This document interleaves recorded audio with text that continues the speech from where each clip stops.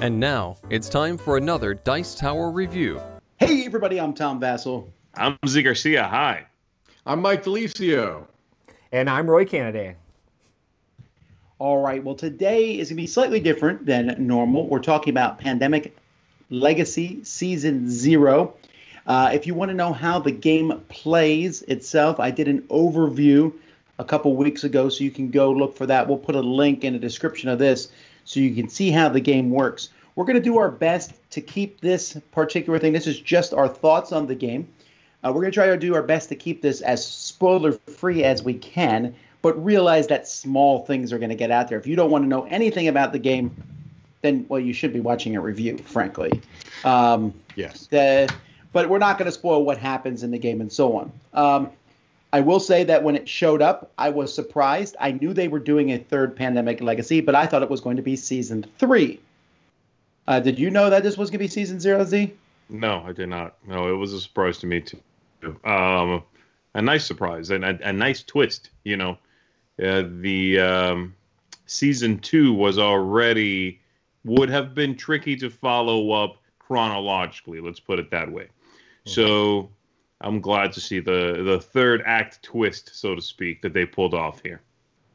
To that end, people have asked about spoilers, and yes, uh, if you play Pandemic Season Zero uh, near the end, it you know it's going to lead into Pandemic Season One, so there will be some spoilers to that regard if you care about that sort of thing. However, you could play it.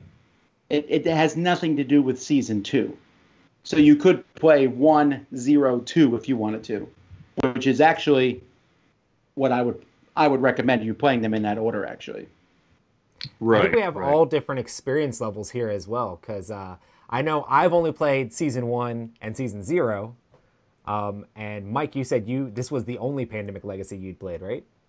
Right. This was my first experience with a Pandemic Legacy game. I've played a lot of Pandemic and the different iterations of Pandemic, but this was the first time playing at Legacy, and I had heard, you know, I didn't really try to avoid spoilers on one and two, so I had heard little bits and pieces here and there. So it was interesting when I could tell that there was something that was alluding to other games in the series through your reactions. Mm-hmm. You know, I didn't quite have that same connection, but it was still interesting to be a part of that experience of discovery.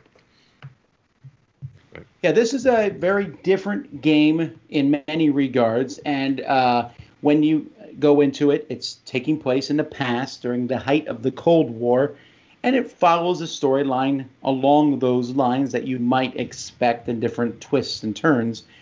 Um, and this is one of the games that I would definitely say if you've, for everybody, I don't care how good of a pandemic player you are, you want to play the prologue in this one because it's a different game than Pandemic. Sure. Yeah. I, w- I would argue this is not as different from Pandemic as Season 2 is. Right. But you still want to play that prologue. And, and this game is certainly challenging. So you're going to want to sort of get ready for that. I actually thought it was this could have been packaged. The prologue could have been packaged as its own version of Pandemic, like the sure. Pandemic Iberia. I thought it was a strong enough variant by itself before the legacy stuff. I agree. Yeah, no, I agree. And um, with some of the other ones, like Pandemic Season One, the prologue, there is no prologue, but like the beginning is just Pandemic, and then Season mm-hmm. Two, you can't do that with. But uh, I agree. I think this, the the groundwork in in Season Zero here is very strong. If this game was not a legacy game and you just played what what you play originally, that's still a strong showing. Yeah. Yeah, I agree. I really like how one... they can.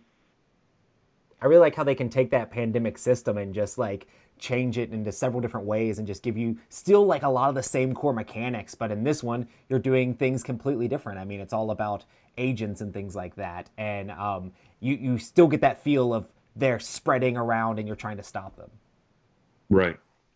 Yeah, I don't want to. You know, again, we're trying not to spoil stuff, but some of the stuff that mm-hmm. you know from the beginning the aspects of these teams that you create and then you use these teams to go around and do various things i really like that mechanism it is incredibly fun it's thematic it feels dynamic um, of all the stuff that we can talk about, that was possibly my favorite part of, of, of the new mechanisms to this game. Those teams and creating them. Oh, actually, it's one of two things that I, I liked a lot. The, the, the, teams. Yeah, I really the the thing about the teams that I thought was was really good was that it was a similar difficulty level to get a team out than it was to cure a disease, say, an original pandemic. Right. But then after you've done that, now, like you said, they're more dynamic. Whereas when you cured the disease before, maybe the only other thing you can do is eradicate it, right? Whereas here, you've got those teams. That's not your end goal. Now you've gone through this great effort to get these teams established, and now you put them to work. And I think that that really gives you a sense of of agency. I guess slightly pun intended uh, in, in moving around the, the that world map. So I really liked the team aspect. I think for me, my favorite sort of aspects, like you were saying, Tom, that you really like that idea. I think for me, it's likely two things as well, but it would be the great sense of mission structure, if you would, mm-hmm. you know, from from session to session, the variety in in season one and season two. Which, I, by the way, I just I finished replaying season one last week. I'm halfway through season two right now mm. again. Wow, you're like on a, you're on a pandemic. Wow. So these are very this is all very fresh in my head. Season wow. one, season two, and the new one. Um, the variety of missions from game to game. I mm-hmm. am about uh, I don't know May or something in season two. The the missions, the things to accomplish, have been the same for the last three months. I think mm. it's just you just do these things. You know, you get to pick mm. like three out of four. You know, but it's the same idea. Season zero here, the new one, they're very distinct from round mm-hmm. to round, and they sort of have a they have a stable of mission types they can pull out and bring back in and mess mess around with. I think it's yeah. the variety is just spectacular and engaging, you know. And then the other thing, a, a, smaller thing than that, is just that I like the fact that the cards in this game, many of them are multi-use cards. Right. I totally agree now, with the whole the whole mission structure thing because when I played season one, that was one of the things that I kind of took away with it was like this is a whole lot of like just pandemic, you know, like a lot of the first games felt you're playing like core pandemic, and this sure. the fact that there's that variety with the missions, it feels very new a lot of the times that you play it. Yeah, the Zee what Zee mentioned is really fantastic. This game, um, we play through the whole thing through. We played through fewer games than we played through in Pandemic 1 and 2, both, at least mm-hmm. me and Zee, are comparative yes. to our games there. Yes.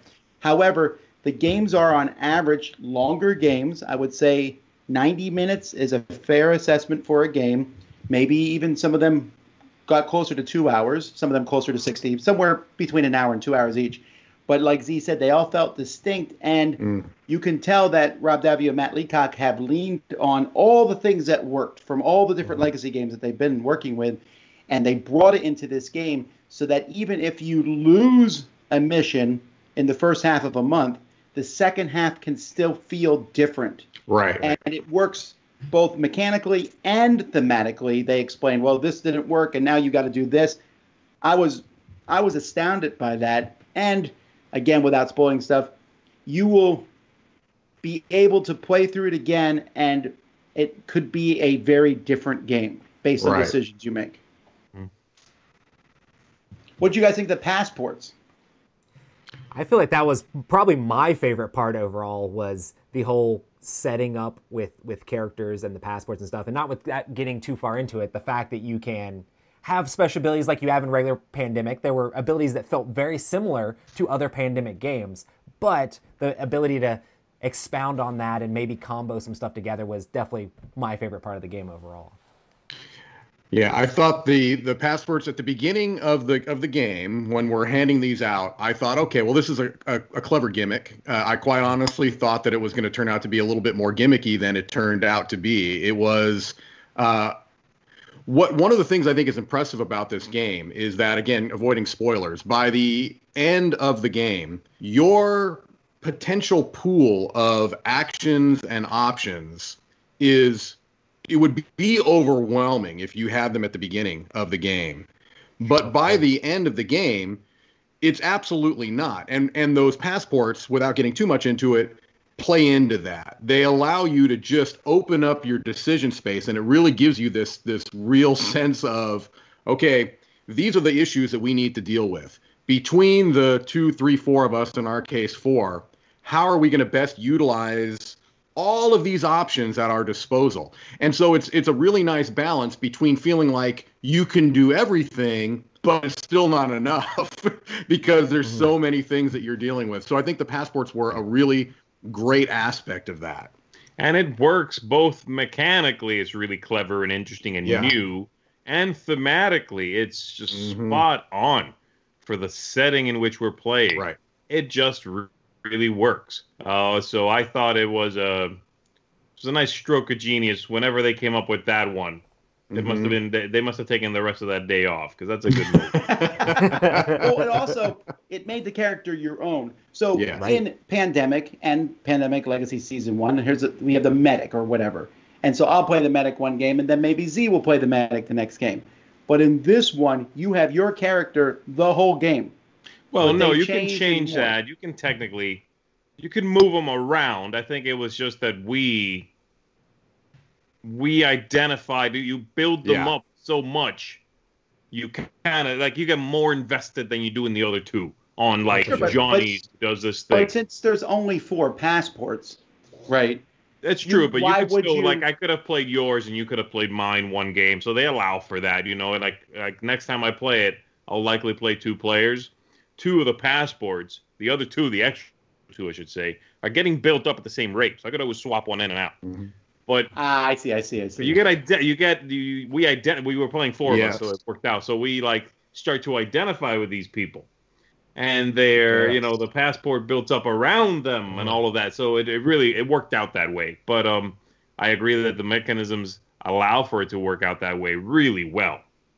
I'll tell you the truth. If somebody had suggested taking my passport, I would have been uncomfortable oh, with. Sure. I literally would have been uncomfortable with it. I've been like, "Hey, this is these this is my character. These are you know you really do get invested. That's a great word for it. And I love so that it allows you, you, to. We kind of like all knew our roles, you know. We, I mean, mm-hmm. you have certain powers. Um, I had a character that's one of the starting powers you start with. That I was good at building teams. So I was like, I'm the team guy. Like, how are we going to get these teams built? And like everybody kind of fell into their roles. And then when more things were available, we're like, how can we make these things better? Like it was interesting being able to know what everybody was good at and then try to like work off of each other. And I, I love the cooperation in those games. And I feel like all that stuff with the passports coming together just helps build that cooperation as well. What did you all think about the story of the game? I think it's good. I liked it. I thought it was a little nebulous, but it's that's a mm. little that's hard to not have it go that way. I right. actually thought you were talking about uh, how these guys brought to the table experience from past legacy games mainly, and I agree with that. I even was surprised to see Rob Daviau bring a little Seafall to this game eh, with that book of stories, you know, the book yeah. of, of, passages, if you would, which I thought worked really well. You know, yes, some of them are a little vague, but it worked nicely. It's nice to be able to accomplish something and read a little passage, or or mm-hmm. fail at something and read a little passage. So I think ultimately there is more story here. Mm. Is it concrete? Is it spectacular? It's okay. It's an okay story. It's you know you've seen it in every like TV show about spies or whatever, right? but um, but there is more of it. Like for example, again, I was just playing Pandemic season one and two. One of the months setup in Pandemic season one, when you draw the story card, literally says, "Just keep going" or something like, "You know what you're doing. Keep going. Like it does nothing. They're like, right. just, just we have nothing for you this month. That was never the case in season zero. No. That's no. true. I thought that the I really liked the Cold War theme a lot. I thought it was fun. Mm-hmm. I thought that the storybook was great and interesting things happened throughout. I thought the story was slightly predictable. Sure. Um, we tried to sometimes go against expectations. Right. Um, I liked some of the ideas of it, but at the end of the day, there wasn't that massive gut feeling that I had during some specific points in season one Mm-hmm. But then again, I'm also on the lookout for that stuff now, so it's not as surprising, maybe. Right. Right. This game has the unfortunate place of uh, you know the the that's the third in a series right. that you've come to expect surprises from. But um, it did surprise me um, at at a point in this game. It introduced a new mechanism, mm-hmm. which blew my yeah. mind with how cool it was. It was it was great, and that was one of my favorite parts of the game. And I don't know that we're going to get into any detail on that. Um, the that core narrative thread, I guess I would call it, it was was fine. I mean, it, it was as you said, it was pretty predictable in a lot of ways. Mm-hmm. Um, but I did enjoy those passages. They were well written. They they seemed to have a, a narrative coherence. The the one issue I did have was I felt like it was difficult. There are times when you're asked to answer questions. I'll leave it at that. And I didn't, pardon me, always have a good sense at what the answer to those questions were ultimately going to lead to. And I think when you're presented as a player or players, when you're presented choices that you know are going to potentially impact further games, I would like to at least have more of a sense of where that might be heading. I, you know, uh, so there were. I, I wish there was a little more clarity in those decision points, but otherwise, I enjoyed the story. Speaking of story, I should mention at this point, and this is, I guess, a slight spoiler, but this game, like the other Pandemic Legacies, when you're done, you're done. There is yeah. no continuing on afterwards. I guess you could go play season one, possibly, although there's still a time differential there. But uh, you can you'll you'll play through. The game is has the prologue, and then up from 12 to 24 more, uh, from 12 to 23 more games uh, as you go through it. Um, so, what are is there anything else before we go to final opinions? Mm, no, right. I mean I wrote down some stuff. I basically said that um, I was comparing it to the other two, and I said it has more story, more story than the first. It's less quirky than the second. I really think the second, which I'm playing through now, I forgot how weird that game is. yeah, it, is really, it really like, is. It's like they basically decided to okay, we gave him pandemic, we gave him pandemic legacy. Now let's take all that stuff and just completely turn it on its head. This game does not try to be weird for the sake of being weird. I feel like Legacy 2 did that, which is fine, but it did that. So it's less quirky than that. It is more diverse than both, I would say. The mission structure, all that stuff. I also would say it's probably more complex than both. Mm. Um, which is why, like you said, Tom, season one, then zero, then two. That's a good way to do it, story wise. Kind of works out nicely. But one, two, zero it might ramp you up for some of the complexities you're going to discover in this game. I just want to say that right. this definitely had a lot of things that I really enjoy in legacy games, you know. I mean, the ability to carry things over from game to game. I mean, that's all there. And the thing things that legacy games can do that other board games can't is the fact that they can surprise you with different things as the game goes along, and this game definitely had that in spades as well. So that was really cool. Yeah, mm. we probably also want to mention just briefly a couple of uh design, I mean, like manufacturing issues that we encountered. Yes. Um, yes. Uh, this is not a spoiler, but some of the things you scratch off, mm-hmm. it's been there forever, and um, they they were not the best. They, they they had some ideas behind that that should have been different. The scratching right. off thing. Um, yeah, that was the weakest manufacturing thing for sure. Right. There's a couple of tiny little little manufacturing things. They're, they're small. They're not going to spoil the game for you. Right. Just I want to make sure it doesn't sound like we're saying the game is perfect. It's not. Right. there's little issues. Yes. Well, what's your final thoughts, Roy? Um, I definitely enjoyed it. Uh, I it's hard for me to get like these sprawling campaign games to the table and things like that a lot of times. You have to have the dedicated group to do it. But if you have a group that you're able to make that happen with i feel like this is a really enjoyable legacy game. It's probably like one of my favorites. Um, it's, i don't think it's my very favorite legacy game but i really enjoy it. Um, are we doing numbers as well? Sure i think for me it's going to be an 8.5 i really enjoyed it um, and i think it's fun I, am not as big on Pandemic as a whole as other people. I still do really enjoy the cooperative aspect of it, though, and I think it's a fun game. Mike? Well, this being my first foray into Pandemic Legacy games, I kind of feel like I hit the mother load. to me, it sounds like I've played the best of the three, uh, just mm. based on what I've heard. Um, I, I really did enjoy it. I will say this, and, and this is kind of piggybacking on uh, Zee's comment that he feels like it's the most complex of the three. Uh, I'm glad that I was not handling the administration of the b- beginning of the game and between game stuff because I feel like as a new player, that could be a little bit intimidating. Right. Uh, I was happy to be kind of along for the ride, and and I felt like I made some contributions as a player, but um, mm that's something to maybe keep in mind. he's, he's, not so sure about that. Um, he helped me out, uh, that's for sure. There you go. Um, so that's something to keep in mind. Is that I do feel like it, it, could be a little bit intimidating if people haven't played a lot of legacy games. That being said, I had a really amazing experience, very much. Um, I, I, feel like uh, I, I, don't want to copy Roy, but it really was. I was coming into this with an 8.5 rating in mind, and and uh, so I, I, really do feel like it's excellent. It's one of the best legacy games I've played. Um, and the interesting thing, though, is I don't know if I want to play season one or season two at this point.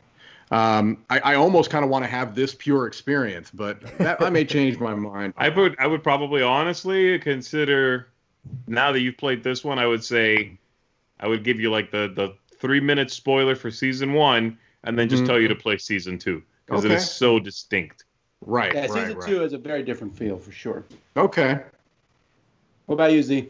All right, so um, I really like it. I like it way more than mm-hmm. these guys. I'm I keep going back and forth in my head between a 9.5 and just a 10. Mm-hmm. It is that good. It's not perfect.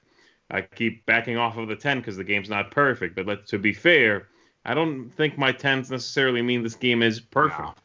Mm-hmm. So I think I rated some of the other pandemics probably 10s when I played them. The first one had the benefit of being a surprise, blew my sure. mind.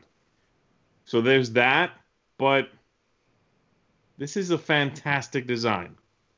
This is a 10. If you like legacy games, if you like traditional pandemic, but you want more, if you thought season two was a little too strange, I don't know. I think it's great. I think they really answered every question I could have had for a follow up to those two really fantastic designs. So, yeah, this gets a 10 from me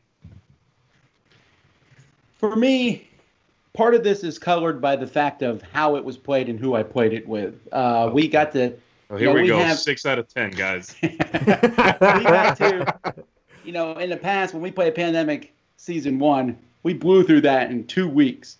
Season two, I think we stretched it out maybe slightly longer, but we blew through it pretty quick, quickly. This one was a little over a month where we played through this one, and I played with these three guys, and it was such a fantastic time. I mean, and this was with all due respect, everyone else I played legacy games with, this was the best experience in that regard. Mm-hmm. I really felt like we had super strong teamwork uh, mm-hmm. uh, going through. We got attached to our characters. There was not, I mean, we joked occasionally about alpha gaming, but I mm-hmm. never felt like that was really there, and it helped to have expert pandemic player Zee to say, hey, yes. this, this, and this. Tournament and then pro player. Tournament, pro player. tournament proven, yes. Tournament approved, yes. Um, that being said, though, I felt like we're pretty good at the game, and it was pretty hard. It's oh, a very yes. hard one, and that you need to go in knowing that it's a difficult game. But I also felt like even though the game was hard, it knows it's hard. Mm-hmm. It knows that the game is hard, and it kind of says, okay, yeah, you're going to have a hard time going through this, and it, it keeps you going. It doesn't yeah. beat you down that that much. Um, and I just it really pushed forth that idea of teamwork. So to this end, I'm with Zee. I'm sitting at a 9.5 right now, wow. and I also realize I'm coming off a high here.